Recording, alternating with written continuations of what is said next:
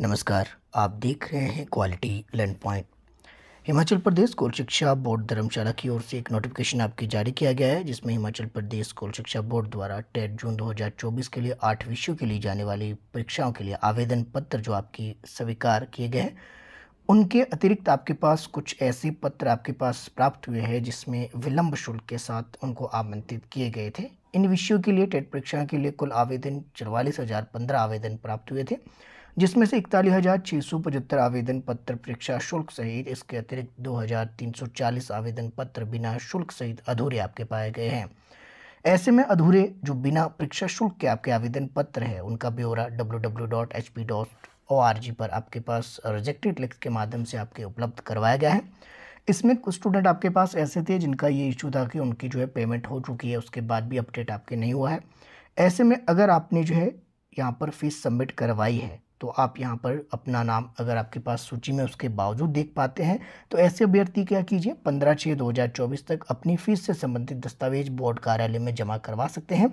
इसके लिए आपका क्या करना पड़ेगा, जो आपके पास रिसिप्ट, आपकी फ़ीस रिसिप्ट है, उसका कुछ भी आपके पास ट्रांजेक्शन आई वगैरह, कुछ भी आपके पास प्रूफ के तौर पर है, वो साथ में आपके पास जो आपको अप्लीकेशन नंबर मिला है, वो आपको होना चाहिए। इसके अलावा आप जो है सीधे मेल भी कर सकते हैं, डब्ल्यू पर आपके पास वेबसाइट जो है इस पर ईमेल एड्रेस आपके दिया है, वहाँ पर भी आप इसको जो है ईमेल कर सकते हैं। इसके अतिरिक्त अगर आप चाहें तो यहाँ पर जो आपके पास नंबर दिया गया है ज़ीरो एक आठ नौ दो दो चार दो एक नौ दो पर भी आप संपर्क कर सकते हैं। इसके अलावा जितने भी आपके पास रिजेक्टेड कैंडिडेट हैं, वो सारी लिस्ट आपके यहाँ पर दी गई हैं। ये लिस्ट आपके पास एच पी बोस की ऑफिशियल वेबसाइट पर भी अवेलेबल है। अगर आपका इसमें नाम है तो एक बार आपने ज़रूर देख लेना है।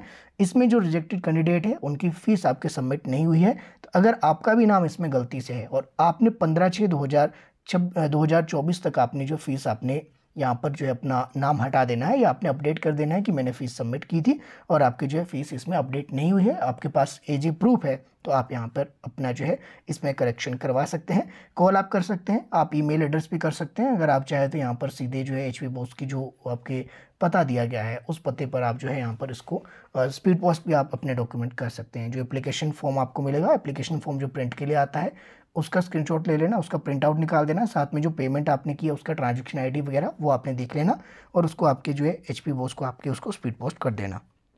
ठीक है, क्योंकि पंद्रह छः दो हज़ार चौबीस से पहले आपके पहुँचना आवश्यक है, बाकी जो है कॉल करके भी आप जानकारी दे सकते हैं। तो ये सारे रिजेक्टेड कैंडिडेट स्टूडेंट हैं, जितनी जो आपके पास फ़ीस सबमिट नहीं है। तो ऐसे में आप क्या कीजिए, इसमें अपना नाम आप ढूंढ सकते हैं। तो इसके लिए क्या है, इस जो है आपके पास पीडीएफ को मैं आपके अपने Telegram channel quality learn point पर इसको मैं सेंड कर देता हूँ। वहाँ से इसको डाउनलोड कीजिए, नहीं तो एच पी की ऑफिशियल वेबसाइट पर भी है। इसमें सीधे आपके पास एक ऑप्शन आ रहा है ऊपर आपके सर्च करने का। इस पर फाइंड पर जैसे ही आपके आ जाएगा, आपने जैसे लिख देना जैसे कि मेरा नाम मान लीजिए शुभम है।